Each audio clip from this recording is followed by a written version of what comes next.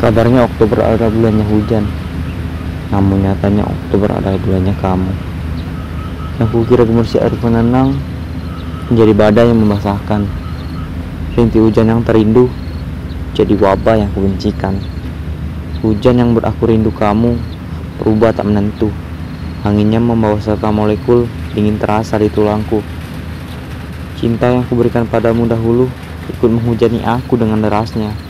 Hangat tak lagi terasa, dingin dengan sendirinya. Seperti bara di tengah badai salju, perlahan membeku.